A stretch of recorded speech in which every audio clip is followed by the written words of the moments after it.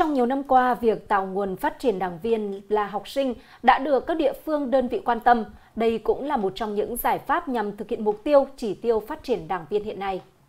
Phóng sự được thực hiện tại huyện Diễn Châu nhờ nâng cao chất lượng công tác phát triển đảng trong trường học đã góp phần khơi dậy khát vọng cống hiến của tuổi trẻ tham gia xây dựng và phát triển đất nước.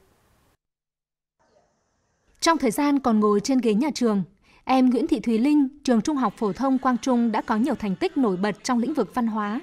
Là học sinh giỏi và là bí thư chi đoàn của lớp, thành viên ban chấp hành đoàn trường năng động.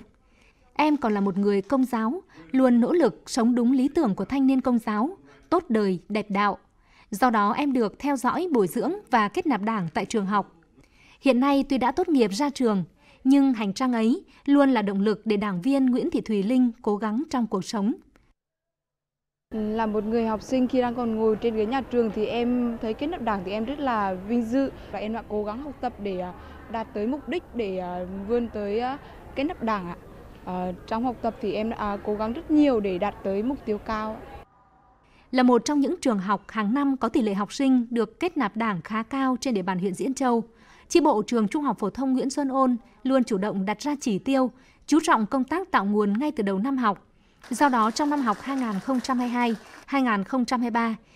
nhà trường đã cử 19 đoàn viên ưu tú tham gia lớp bồi dưỡng nhận thức về Đảng. Qua đó đã theo dõi, bồi dưỡng và kết nạp được 7 đảng viên là học sinh.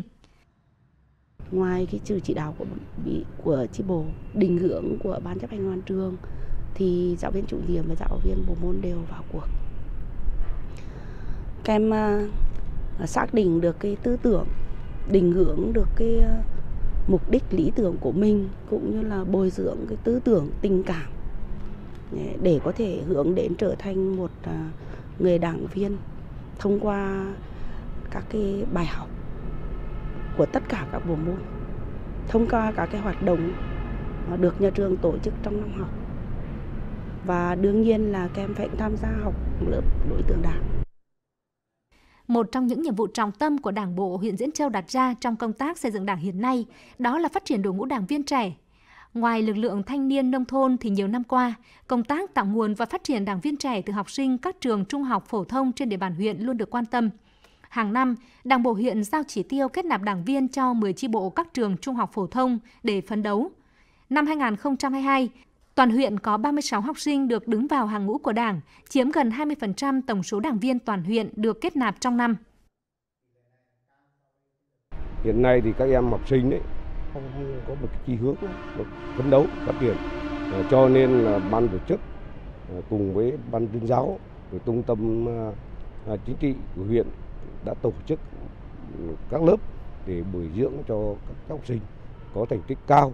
để tham gia học lớp là bồi dưỡng kiến thức ờ, về đảng ờ, cho nên phấn đấu năm nay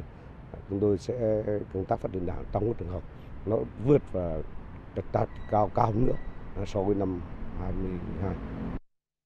Việc tổ chức kết nạp đảng viên trong trường phổ thông ghi nhận nỗ lực của những quần chúng học sinh ưu tú, tạo ra môi trường để phát triển đảng trong lực lượng trẻ, bồi dưỡng học sinh ưu tú kết nạp vào đảng không chỉ góp phần nâng cao chất lượng đội ngũ đảng viên mà còn tạo nguồn lực có trình độ cao, phẩm chất chính trị vững vàng, đáp ứng yêu cầu xây dựng quê hương trong thời kỳ mới.